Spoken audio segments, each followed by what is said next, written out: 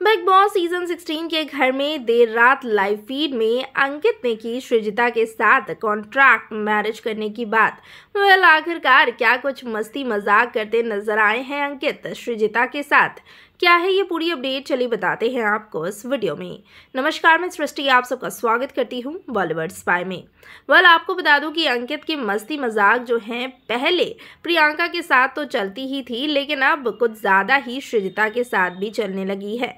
जहाँ सृजिता को मस्ती मज़ाक में वो ये तक कहते नज़र आए हैं कि, भाई, मैं तो तुझसे शादी करना चाहता हूँ।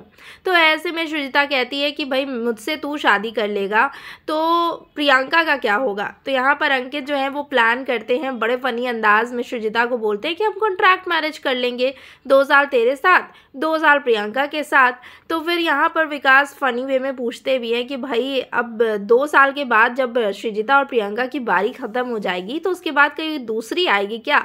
तो यहाँ पर अंकित जो है, वो कहते भी है कि भाई, मैं भी अब समय जैसा होगा, वैसा देखा जाएगा। तो वहीं शालीन कहते हैं कि भाई, इसका कॉन्ट्रैक्ट मैरिज करने का ही प्लान है। इसी वजह से ये ना शादी करने का सोचता नहीं है और अपने प्यार को प्रियंका के लिए एडमिट भी नहीं करता है। वह आखिरकार प्रियंका और सृजिता।